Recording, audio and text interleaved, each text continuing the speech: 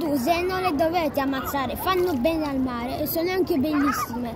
E se vanno a riva, e se vanno a riva, prendete un secchio e buttatele nell'oceano, così ci metteranno una vita ad andare nella riva. Ed è anche pieno di sei cuccioli, che ne ho visto appena uno. È vero. Ma non so, ah, e ne ho appena toccato anche uno. È pieno di sei cuccioli. Era questa